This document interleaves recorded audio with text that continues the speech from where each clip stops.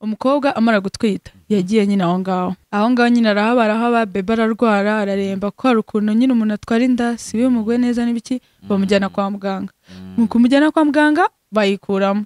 Bayikuyemo bebe bajya bamubaza ati ninde waguteye inda ntabyo nzi.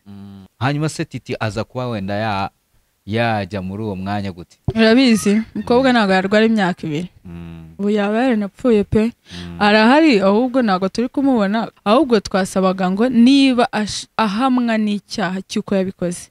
Bamukatire amenye ngo mfungiwe iki? Ndazira iki? Ndamara imyaka ini birangire ariko gufungwa utazi ngo nzataha igihe n'iki ndazira iki ngiki iminsi irakomeza yicuma ntabwo byoroshye. Rero twasabaga ko yabona ubutabera niba ari ugutaha agataha. Kandi barasanze bidahuye. Mm. basanze umwana ahuje na mama we. Ahuje na mama we uwo nguwo umutwite. Gusa basanga titi nta hantu namwe bihuriye. Basanze se izo dna z'uwo mwana wenda zihuye n'uwo mugabo.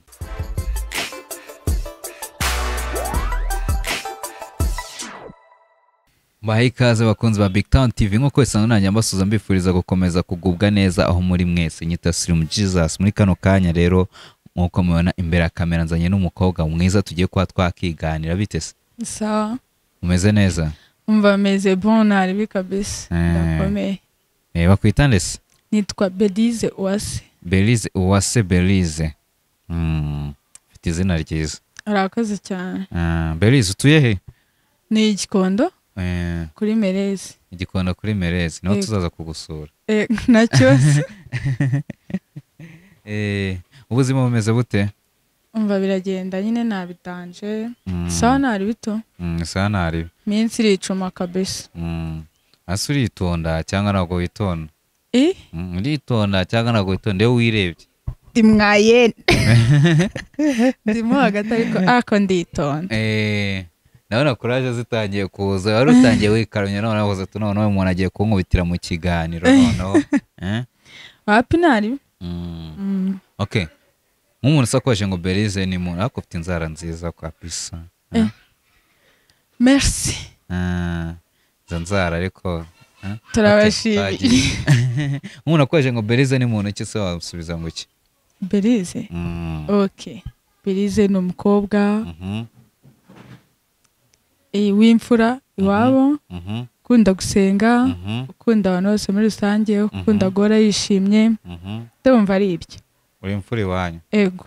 Se ni nk'izo nshingano ukunda kugira zikakugora nk'imfura mu rugo? Eh, kubera mfite barumuna wanjye benshi Mhm, hari igihe umwe ushobora kumushyira ku murongo n'undi akaza gutyo gutyo gutyo nyine ugasanga birahuriranye ariko nta kibazo iyo wabimenyereye nyine mbona mm. ni ukuvuga ngo bose ubahoza ku murongo. Ego. Shyira amayika hano nkwereke ubundi turebe.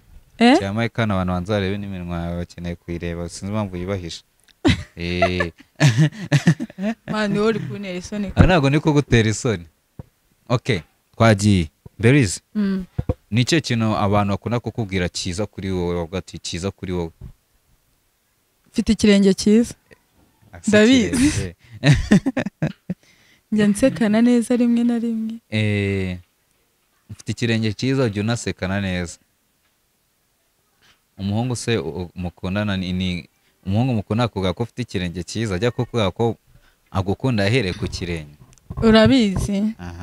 Biragoye ko wabimbwira ko mfite ikirenge cyiza kandi mbizi kuko n'ubundi mba mbizi ko mbona ko iyo umuntu ashobora kuba afite umubyeyi ushobora kumubwira mwana wanjye ufite kino kintu cyiza. Mm, birafasha cyane kuko mhm. bituma nyine n'umuntu ushobora kuza kubikubwira berize ufite ikirenge cyiza nawe yongera kuri bya bindi n'undi umubyeyi aba yarakubwiye ukumva Se nabirenze ikirenge cyiza ni ikirenge kiba kimeze gute? Eh? ikirenge kiba kimeze gute? Ntabyo tunye nyitegereza neza neza mbuze ubwiza. Ntabwo mbizi gusa ndabizi nyine. Ko Ah, nakuze babimbwira kandi numva ko n'umubyeyi ushobora kukubwira mwana wanjye uri mwiza. Umva Ah. niyo waba ubabaje. ah, iyo ugenda mu nzira uravuga ndi mwiza mama yarambwiye ndi mwiza rero? Ah. niyo abandi bashobora kukubwira uri mubi ariko nyine ubuze umuntu wakubwiye ngo uri mwiza kandi ni ingenzi mu buzima bwawe. Mm, rero nanjye ni uko nguko nabifashe. Tugeze ku kantu k'umukunzi uhita ubasereye cyane ariko. Byasabaga kugusobanurira cyane kugira ngo Eh. ubyumve uramwubaha cyane ku buryo tukageza uhita ubasereye cyane. Eh, mm. Ah, ubuse arabizi ibyo urimo. Arabizi ibyo ndimo. Ah, ntabyazi yihangane hari ukuntu abantu ukundana n'umuntu bikaba ngombwa ko nyine nimba ugiye ahantu ahamenya nimba ugiye ahantu ahamenya ibintu nk'ibyo tu. Wowe siko biba bimeze? Nk'ubwo uyimubwiye akabyanga byagenda ute? Wowe se ushobora kubwiye ngo agiye ahantu ukabyanga bigenda bitarabireka sha ntabwo ndishwa neza akabireka ashobora kuba agenda nyine akabimisha ariko Ah. simbizi.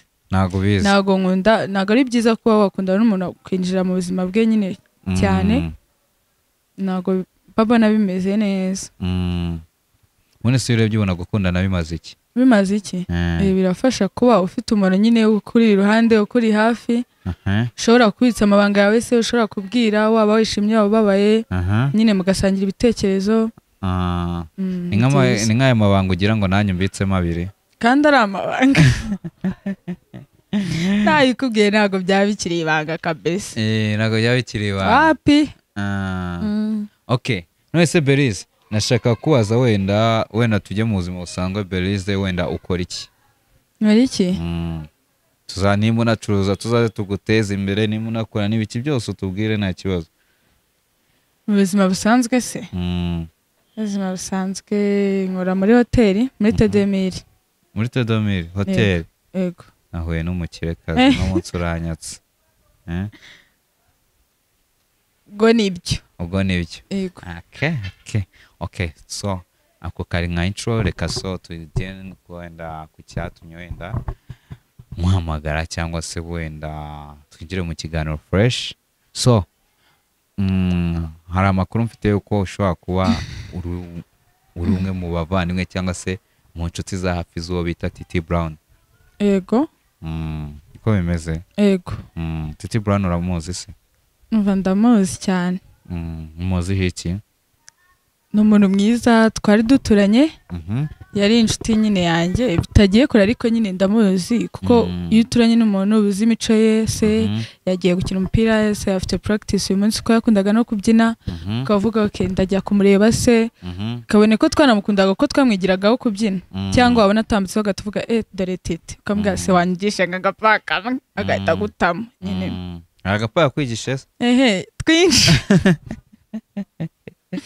ushobora gutuma mwahagurutsa wapi ukagakubita ariko nyine ni twinshi kandi ndabona sha twari n'utwa kera kuko hashize igihe kinini nose umuntu ushobora kuba yarafunzwe ku itariki icumi z'ukwa cumi na kumwe bibiri na makumyabiri na rimwe eh, ibaze ko n'amatariki uyazi Eh, neza ntago nabyibagirwa Mm. hari ukuntu akantu kaba karabaye nyine ukumva Mm. birakubabajemo nese kuki iyo tariki uyizi kubera iki Iyi- nyizi kuki ku- yakugumye mu mutwe. Naramukundaga mani. Mm. nyine ni umwana mwiza arasabana nyine mani nari birya. Mm. rero kumva ngo umuntu nk'uwo byagenze gutyo mani birababaza pe.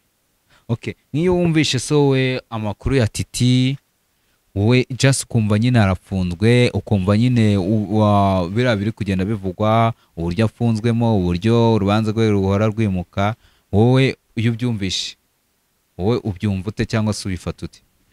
Umva biragoye kuba wavuga ngo ushyigikira uruhande uru n'uru ariko nyine umva ntabwo biba byoroshye ko wumva aya makuru ejo ukumva aya ngaya ukumva nyine nta hantu na hamwe uhagaze. Ukavuga imana izi ukuri urakoze kumbwira impande ebyiri reka noneho tuhite tuba mbere yuko tunagaruka kuri ibyo tubanza tujye kuri izo mpande ebyiri.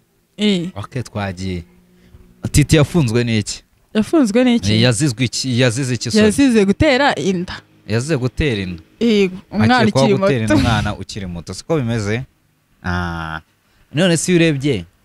Iyo urebye ukurikije urubyiruko rw'iki gihe abakobwa b'iki gihe ubona ari nka titi ari n'uriya mukobwa wowe urebye ni nk'inde- nk'andi wakagombye ko ari mu makosa. Indaruka gugumbye ko ari mu makosa se? Mm. urabona? Wenda tubwe byarabaye koko. Biragoye kuba wavuga ngo uyu mukobwa ari ni under age. Mm. Kubera ko abakobwa b'iki gihe barakura akavumbuka ibiki ntago Mm. biragoye kuba si ubu wakundana n'umuntu ukamubaza ngo imyaka ye ni ingahe nyine bije muri iki gihe ariko ntago wambwira ngo wakunda umuntu ukamubaza imyaka yawe Mm. rero uri mu makosa Mhm. ntawe nzi Mm. kubera ko buri muntu wese aba azi ukuri.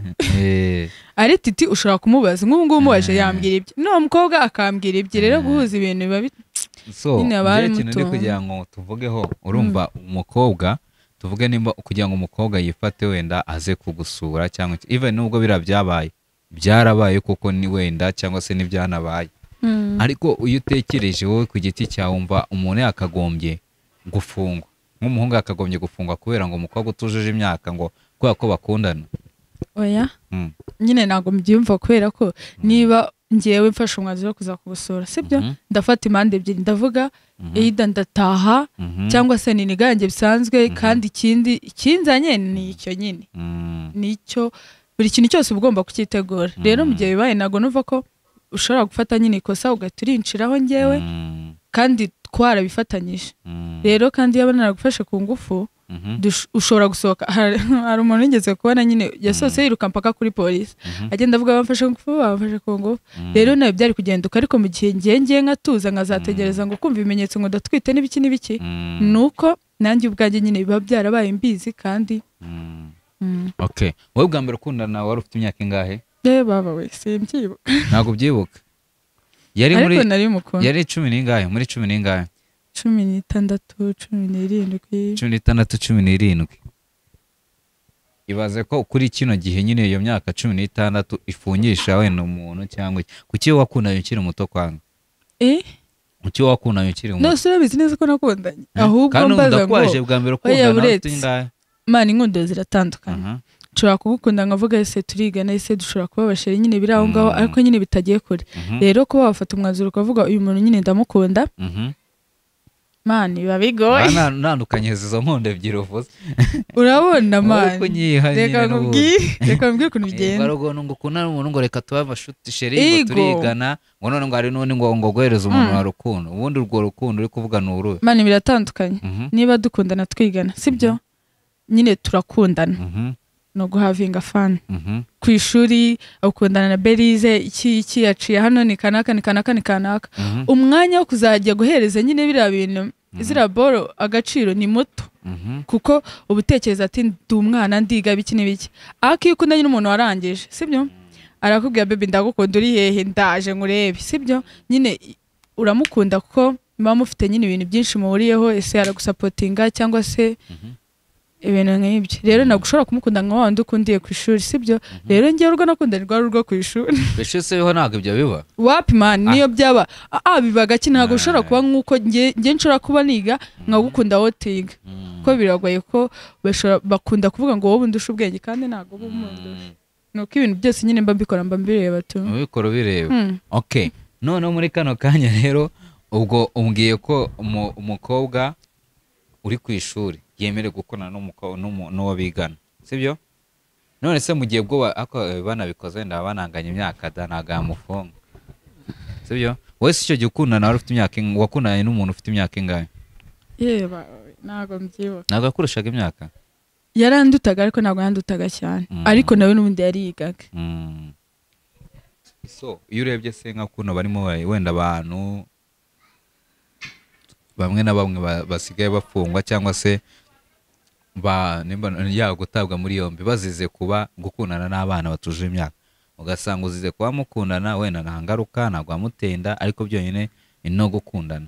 Nabyo bikaba ari ikosa. Mm. just wenda nk'uko bavuga ngo ni ukumushuka. Eh, wowe nyine ubivugaho iki? Ubona bikwiye ko umuntu ashobora kuba yakatirwa imyaka makumyabiri n'itanu Mm. kubera ko yakundanye n'umwana ukiri mutoya. Mani ngewe mbona bidakwiye. Mm. kubera ko abakobwa mani b'iki gihe ducanye ku maso. Ari abakobwa ni nabo bishinza ku bahungu mani ducanye ku maso. Mhm. urareba ukavuga ati iriya ni gasi ikayiransapotinga se Mhm, igize kuntwara bitondo ngiye ku ishuri. Mhm, ok irangurura urukweto rumeze gutya. N'ibiki n'ibiki nyine ugatera imibare.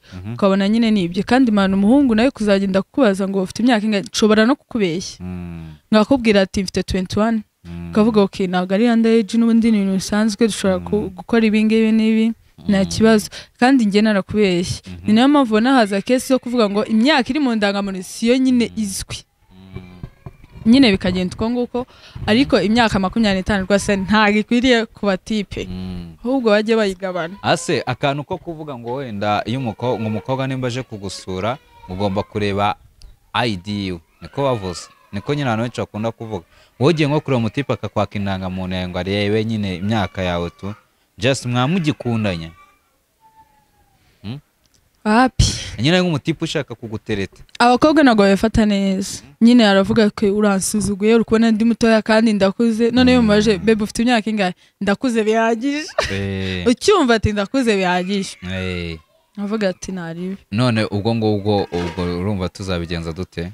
Mu gihe umuntu nimba akwatse ID ngo arebe imyaka yawe ubifata nabi kandi muravumbuka ikindi mukikurura ku bahungu urumva? Kandi umuhungu ntakabura amahitamo ubwo urumva ko abahungu abasore batari kurengana? Bari kurengana. Mhm, oya ntabwo bari kurengana. Mm. bararengana uruhande rumwe urundi ntibarengana. Mhm, ariko urebye ikosa rinini riri ku bakobwa ko badashaka kuvugisha ukuri mhm, akakubwira kuko ninkubwire ngo ufite imyaka cumi n'itandatu uranyanga. Mhm. nunyanga se biragenda gute? Rero niyo mpamvu nkubwira ngo mfite 21 rero nawe ugahita wumva ndi mu kirere. Urumva ko ikosa riri ku bakobwa. Sha rinini riri ku bakobwa. Mm, abahungu babaziza ubusa. Ubusa. Ahubwo iriya myaka bayikatiye abakobwa buriya nibwo oya byakunda ntabwo byakunda Eh, ntabwo byakunda ko reka nkubwire. Kuko abakobwa nibo babeshya imyaka. Iriya myaka bayikatiye abakobwa nibwo byagabanyuka. Hafi ntabwo byakunda kandi mba mfite iki iki cyangwa se abakobwa bakazajya bayibagabanya kabiri. Oya, oya, umuhungu oya. makumyabiri n'itanu umukobwa cumi n'ibiri n'igice. reka nkubwire. Eh. N'ubundi waryamanye n'umukobwa sibyo n'umwanduze cyangwa n'umutera inda. Ntabwo wabimenya ntabwo wabimenya ariko se byose bikuye ko icyaha cyabaye? Icyaha cyabaye. Wasambanyije umwana utuje ikimenyetso kiri he? Ikimenyetso cy'uko se byonyine ko wasohotse mu rugo cyangwa se ntabwo bajya gupima se? Si waje kundeba iwanjye. Umukobwa yaje kukureba yaje kundeba. Niba iwanjye hatari kamera ntiki kizakubwira ko umukobwa yaje kundeba? Abaturanyi. Wapi? Ntabwo bikunda. Eh, n'ubundi uwo mwana aba ari ikirara. Iwabo baba baramushizeho abamugendaho kuko niba njye naje hano uretse Eh. niba naje hano hariya baravuze ati berize yaje ahangaha barahamagaye sibyo hariya hari umukobwa uyu n'uyu uyu n'uyu n'uyu sibyo Mm. n'ubundi mani mba ndi ikirara kandi baba bamaze kuba mbona inshuro nyinshi. Mhm. ntabwo bambona ahantu umunsi umwe ngo bahite babivuga. Rero ikihari ni kimwe. Abahungu bagabanye gusambana cyane. Mm. sibyo kuko ni ho hava mani inda zitateganyijwe. Kandi inda nk'izo ngizo ntabwo zigwa neza abakobwa. Niyo mpamvu bavuga ngo bazikuremo. Uwo uzikuyemo wese ntago ubuzima bwe bushobora kwakira gukuramo inda. Mm. bamwe barapfa cyangwa se abandi bakavuga ngo turava mu ishuri kandi umukobwa wavuye mu ishuri wapi pe? Mm. biba byanze biba byanze kandi mani ubu mwiciye ubuzima rero urareba ahubwo mujye mutera imibare. Uvuge wiga amakangahe nakurabura. Hari n'ukuntu umuntu arivamo? Uwarivuyemo ntabwo aba akiri umwana. Arivuyemo ntabwo aba aki- wapi? Abashobora kwifatira umwanzuro. Umuntu avuye mu ishuri ataruza imyaka ubwo ntabwo aba- ntabwo abashoboye kwifatira umwanzuro Ah. kuko niba nshobora kuva mu ishuri bitewe wenda n'ubuzima bwo mu rugo bisanzwe Mhm. ntabwo nzabona umwanya wo kuza iwawe Mm. nzavuga ati ok navuye mu ishuri ngomba gukora cyane kugira ngo nunge umuryango wanjye se cyangwa barumuna wanjye cyangwa abavandimwe Mhm. ntabwo mfite umwanya wo kuza iwawe ariko mu gihe navuye mu ishuri Mhm. mvuga ngo ok ndivuyemo nzaza kugusura mara icyumweru ibiki n'ibiki ubwo ese uri kumva n'ubundi abashoboye kwifatira umwanzuro abakuze bihagije Mm. Ubwo ngubwo wenda ibyo ngibyo icyo gitekerezo cyawe buriya ni cyo. Ubwo ni iki? Nibyo ariko. Ubwo ngubwo ni ukuvuga ko nyine umuntu wavuye mu ishuri wenda wapi umuntu nese u- iyo ugereranyije nko ku myaka ukumva wumva umuntu yakundana n'umukobwa yiga nko mu wa kangahe warangije kwiga bimeze bite? Mani bibaye byiza yaba yarangije kwiga. Wiga mu wa kangahe mu wa gatandatu. Urumva ko nawe ntabwo byemewe ntabwo umuntu yemerewe gukundana nawe. Nyine ndi kukubwira bibaye byiza yaba yarasoje kwiga. Ah, ariko mu gihe umuntu atarasoza hari yego biraba ariko nyine ah. Wowe ntabwo wafungisha umuntu? njyewe? Eh, kandi nkuze bihagije Ah, bihagije gute nabigambiriye. kandi? Naba nabigambiriye. Eh. Ubu ubu ngukuze bihagije gute kandi uvuze ko nawe ukiga mu wa gatandatu? Nyine reka mubwire nagufungisha naba nabigambiriye. Baba babigambiriye kuko ntabwo umbwira ngo nizanye n'ibiki n'ibiki n'ibibaye Mm. byose n'ibiki Mm. hanyuma ngo ndajya kurega kandi byabaye n'ubundi mbizi. Ubundi wenda tugarutse ku nkuru ya titiwe wumvishe ko wenda byavuye ku wenda bamufata wenda uriya mukobwa wareze byagenze bite ubundi? Yarezwe rero Mhm, na musaza mhm, wa mama we kuko umukobwa amara umukobwa ko nabyumvishije nabisomye. Mhm. umukobwa amara gutwita yagiye nyine aho ngaho. Aho ngaho nyine arahaba arahaba bebe ararwara araremba. Ko hari ukuntu nyine umuntu atwara inda si bimuguye neza n'ibiki bamujyana kwa muganga. Mu kumujyana kwa muganga bayikuramo.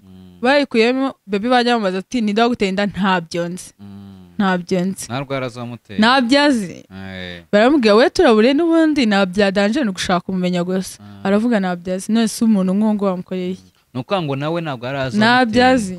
Eh, yasubije ko ntabyo azi. Neza ubwo ni ukuvuga ngo wenda ni kwa kundi umukobwa wenda aba yitamo amaniga menshi ahura n'amaniga menshi nawe ubwe ntabwo yari abizi. Hanyuma se titi aza kuba wenda ya yajya muri uwo mwanya gute?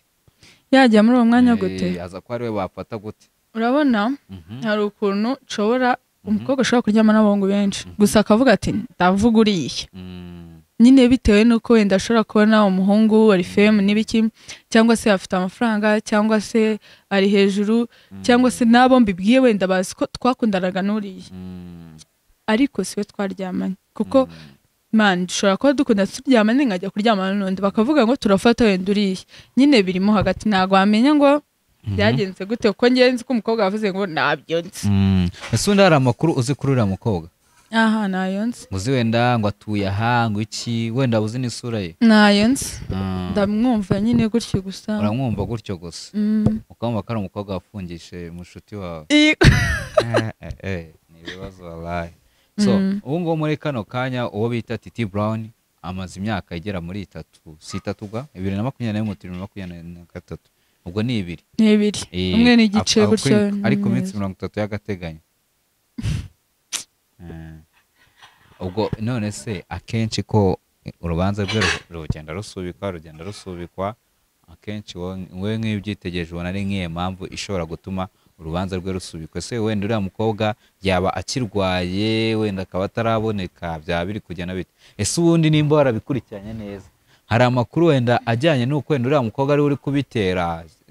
Bimeze bite urabizi umukobwa ntabwo yarwara imyaka ibiri. Mm, ubu yaba yaranapfuye pe. Mm, arahari ahubwo ntabwo turi kumubona. Kandi turamushaka nyine kumureba ko ntabwo biba byoroshye kuba umuntu mhm, ashobora gufungisha umuntu nyine ariko sajya mu ruhame ngo amushinje. Buriya ngiye mba numva bajya bashinjana.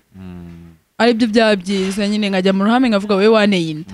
Noneho ukabihakana turebana nyine byaba byiza. Wavuze ko titi brown mwakuriye muri karitsiye mwari mutuye muri iyo karitsiye rero. Ehe muko mukobo. Harya mukobo ni hagana ni igikoto ni igikona Eh, ariko ni agakarito nyine kitwa gutyo tu Eh, ni naho utuye n'ubu ariko. Wapi? Mm, twariyubatse. Arimutse ni ikihe kintu ujya wibuka kuri titi brown? Yagiraga mani sitori za danje Mm, njyaga sitori za danje Mm. Nta jambo se rye wenda waba wibuka yigi wenda waba warigeze kumva wenda akubwira. Ambwira? Eh, yarambwiye uri mwiza. Eh, nuko yambwiye ariko byari ibintu bisanzwe titi brown ko muziranye atari umusitari eh eh, atari gake umusitari. Eh, mo gake okay titi brown se wenda nk'umuntu wenda umuzi atari umusitari wenda ni umuntu wakuze ate? Ya wenda muri karitsiye ukuntu byari bimeze. Rero ukuntu yari ameze nyine yari umuntu mwiza yakundaga guciringa n'abandi Mhm. gusa nyine akunda kubyina mani bya danje ko ntabwo ushobora kubyuka uvuge ngo ndahita mba umusitari nyine bisaba ama practice n'ibiki nyine akajya abyina akakwigisha ibiki n'ibiki yari umwana mwiza ntabwo wa- wari kumusaba serivisi ngo abikwime. Mm, kuko ngewe reka mubwire ntabwo naza kukubwira ngo nyigisha kubyina udafite uwo mutima wo kunyigisha ntabwo wanyigisha. Urambwira ati huzo. Ariko we nyine yarakuraburaga akakubwira nakawushaka nyine akakakwigisha nyine bikarangira. N'abereye umusitari ntabwo yigeze aba bize yajyaga nyine mu kazi bisanzwe then akongera akagaruka mhm, akaba yafasha n'abandi nyine nta bidanje mm. ntabwo nkamucaga intege se. Eee wapi? Niyo mahirwe. Bandi si uzi iyo wakuriye wenda muri karitsiye ukumva wenda umwe abaye umusitari nyine utabumva wishimye muntu turaziranye. Iyi twari duturanye nyine ukumva birashimishije kuko ntabwo wa- wamusaba sapoti ngo ayikwime kandi ntekereza ko aba ari amahirwe menshi yo kuba namwe mwagenda muzamuka. Ese kuva hafungwa basi wari wamusura? Yewe babaye sindamusura. Hariho muri iyi minsi hari gahunda yitwa free titi free titi sinzi niba barayibonye Mm, narayibonye. TT. Eh, Mm, eh, iriya gahunda urayivugaho iki rero? Aho abantu just ni like campaign bari gukora yo kugira ngo bamusabire ubutabera. Mm, birakwiriye kuko umuntu ufunzwe umwaka n'amezi arenga. Mm, urubanza waraba rwimura mani ntabwo biba byoroshye. Niba ashobora no kuba yaragiye ko yagiye abihakana atabyemera. Mm, kuko n'ubundi icyaha biragaragara ko kitamuri ahubwo twasabaga ngo niba ahamwa n'icyaha cy'uko yabikoze. Bamukatire amenye ngo mfungiwe iki? Ndazira iki? Ndamara imyaka n'iyi birangire. Ariko gufungwa utazi ngo nzataha igihe n'iki ndazira iki ngiki iminsi irakomeza yicuma ntabwo byoroshye. Ko nigeze kubona yago yari yagiye kumusura mbona ari kwigisha kubyina. Nyine ukabona tipe yariyakiriye ariko se hanyuma yo kwiyakira mu gihe biba byiza iyo wiyakiriye uzi ngo n'igihe izamara ukavuga ndiyakiriye umwaka umwe nzamara imyaka itanu. Ariko ndiyakiriye nzapfira aha simbizi. Niba nzapfa niba nzasohoka imana biba bigoye. Kandi hari n'igihe kwihangana k'umuntu mani kurangira. Rero twasabaga ko yabona ubutabera niba ari ugukatirwa agakatirwa niba ari ugutaha agataha. Yo ku cyifuzo cyawe urumva byagenda bite? Ngere uko mbyifuza Mm. barekere kwimura urubanza. Mm. bavuge ngo turamusomera umunsi uyu n'uyu. Mm. kandi nyine uwo munsi bavuze bamusomere. Niba hari ibya ndabizi ko hari ibyakusanyijwe. Kuko iki gihe gishize ni cyinshi. Babizane abamushinja nyine birangire bamukatire cyangwa atahe. Kimwe muri ibyo tu. Kimwe muri ibyo ngibyo. Mm. so ubu ngubu se wenda aramutse icyaha kimuhamye wenda bikaba ngombwa ko bamukatira nk'imyaka makumyabiri iyo myaka makumyabiri n'itanu. Yego komana Eh? yiyongera ku umwe ku umwe. Ntekereza ko bahita babijyanira rimwe. Wenda iyi ngiyi wenda bakayigira wenda akahita asigara miyari isigaye. Bibaye ngombwa ko wenda bamukatira iyo myaka igera kuri makumyabiri n'itanu. Urumva just ari ukugira ngo bamukatire imyaka makumyabiri n'itanu cyangwa se no ngo wenda bimure urubanza wenda bageraho bamurekure wowe wumva ari nk'ikihe cyiza. Ntabwo bishoboka. Mm, niba imuri urubanza n'ubundi bazamusomera n'undi nibamusomera nikimufata ni ya myaka n'ubundi. Eh, ariko nk'ubu ngubu bamusomeye akavuga ngo bankata imyaka makumyabiri n'itanu. Ni makumyabiri n'itanu birarangiye ntabwo ndi busubire ngo mu rubanza bibeke n'ibiki mm, n'undi leta birangira nyine yafungwe birangire cyangwa se nikitamuhama ibyo bintu byo gukomeza bimurasha. N'ubundi iminsi iri kugenda kandi n'ubundi mm. nta mwanzuro uhari kandi natwe ni twafata ngiriya jambo babwirira mukobwa rero Ih, ngiriya jambo babwirira mukobwa uriya mukobwa se? Mm, sha nta kintu mfite cyo kumubwira. Eh, gusa icyo namubwira mhm. nadufashe. Abafashe nadufashe. Ndetse se amuzi imana umuntu wamuteye inda ashobora kuba ari titi cyangwa atari we Ah. gusa aramuzi. Kandi birashoboka ko ushobora kuvuga ngo ni kanaka urengana agasohoka. yarabivuze. kuki se atabivuga reka yavuze se ubundi ntabwo bapimye dna bagasanga wenda bihuye kandi barasanze bidahuye Mm. basanze umwana ahuje na mama. We ahuje na mama we uwo nguwo umutwite. Gusa basanga titi nta hantu namwe bihuriye Mhm. mu kwa gatanu kandi byabaye mu kwa gatanu ahubwo sinzi impamvu. Basanze se izo dna z'uwo mwana wenda zihuye n'uwo mugabo. Byagorana mani Mm. none se bapima umugabo udahari sinzi ukuntu babipima. Eh, eh, sinzi ukuntu babipima ariko bashobora gufata iza titi bagahuza n'uwo mwana umukobwa arimo arabazwa wenda ari gusabwa wenda ko yavuga wenda n'abandi bantu bagiye- bagiye baryamana aramuzi. Eh, aramuzi. Ko numva se ibintu bigiye kuza kuba birebire biraza kuba birebire aramuzi ahubwo areke kwijijisha ubwo biraza kurangira bafashe undi rero. Bafashe undi? Yigo mm. None se bagisubika. Ntabwo bishoboka. Birasaba ko n'ubundi wakoze icyaha aba ari ufungwa. Kandi uriya mukobwa niba atari na under age. Ubundi se icyaha cyabaye ni iki? Iki icyaha cyabaye ni iki? Ni ugutera inda. Mhm. idateganyijwe umukobwa ukiri muto. Umukobwa ukiri muto. Yego. Okay ufite murumuna wawe? Yego. Ari murumuna wawe murumuna wawe byabayeho wabigenza ute? Nabigenza ute? Mm. byasaba ko avugisha ukuri. Yamara kuvugisha ukuri hagahanwa nyine uwabikoze? Uwabikoze agahanwa. Yego. Ni ukuvuga ngo nawe ari murumuna wawe nawe ni kuri wabigenza kuriya byagenze? Wivuga ngo hariya wivuga ngo kuvugisha ukuri kuko kuba titi wenda afunze arafunze yego. Mm, sibyo mm. just nta kintu wenda ari gukekwa ari gukekwa. Sibyo eh ubwo ni ukuvuga ngo nawe murumuna wawe bibaye ngombwa ko hari ukekwa nawe watuma bamufunga Mm. Nose ubwo urumva byagenda ute? Ariko bamufunga ariko yabona ubutabera atari we agasohoka. Eh, hagafatwa abanyabo ni ukuvuga ngo nawe muri kano kanya numva uri ku ruhande rw'uriya mukobwa. Oya ntabwo nduri eh nese uri umutari uri wapi mani reba nkubwire sibyo? Niba umukobwa azi umu- azi umuntu wamuteye inda byanze bikunze. Eh. sibyo? Ehe. yahafunzwe wenda utaramuteye inda cyangwa se yaranayimuteye Ah. gusa bikaba bitarasobanuka neza. Ubwo bizasaba ko umukobwa nta wundi muntu wabibaza bazabibaza umukobwa. Ahubwo sinzi impamvu nyine byagenze uko byari kuba byaranakemutse kera. Nyine ngiye ndimo nakubaza ni urumva? Mm. nimba ubwo ngubwo nawe ku giti cyawe wumva ko ari nka murumuna wawe byabaho. Ari murumuna wawe bibayeho. Wareka nawe bakabanza bagafata uwa mbere bakajya muri ibyo ngibyo wenda nimba ari we ari gushya.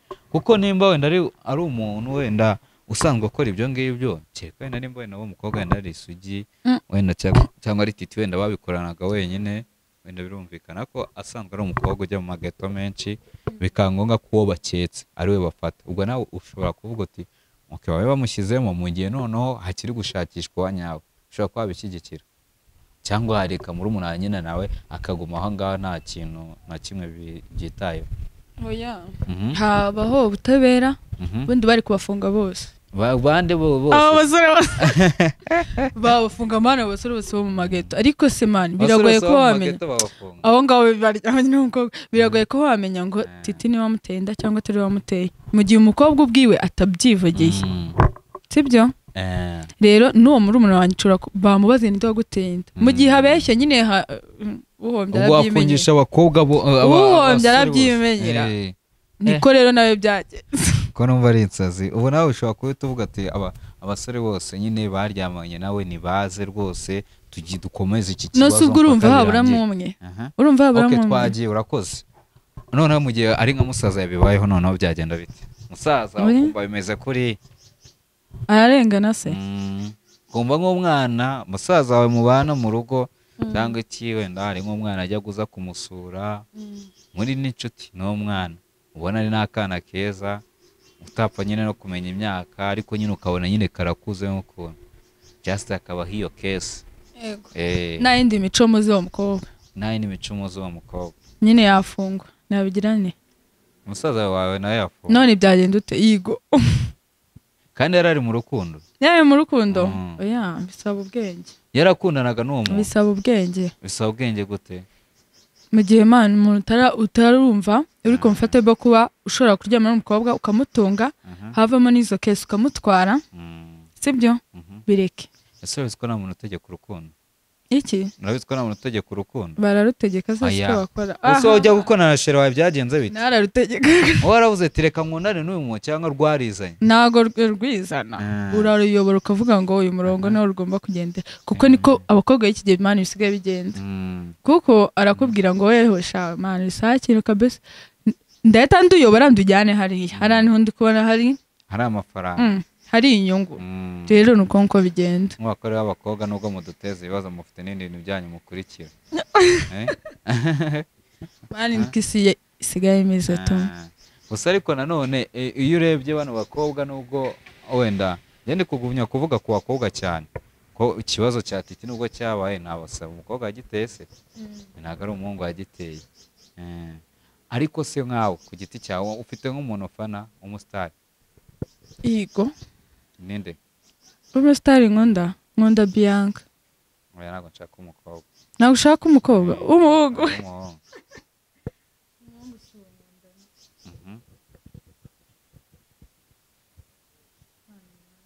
biterwa n'uwankome Eh?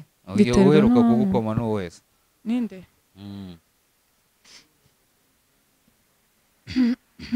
Mm. nta n'umwe nta n'umwe nyine ngukunda bitewe n'uko nabyutse.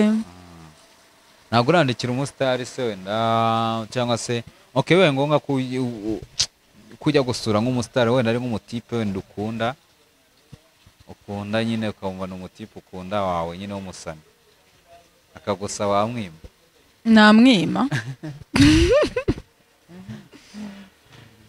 wamwima yego ok gusa nanone ikibazo gihari hano hanze bivuga ko abakobwa ari bo bikura cyane ku bahungu cyane cyane b'abasitari urumva? Kuko ari nk'umuntu ugiye gucekinga biriya ngo arebe iki akajya nko muri dm z'abasani benshi bakomeye hano mu rwanda. Usanga abakobwa babandikira ari benshi ahubwo uretse kwihangana kw'aba- kw'abahanzi nabo ubundi bose bakagombye kuba barabatwaye rwose. So niyo mpamvu numva umuntu atakagombye kuvuga ngo umukobwa nkamutayemo n'iki urumva? So bwagira ikintu wenda ubwira nk'uriya mukobwa eh, gira nk'ijambo wabwira uriya mukobwa wafungishije titi umuturanyi wawe wafataga nk'u- nk'umuvandimwe wawe.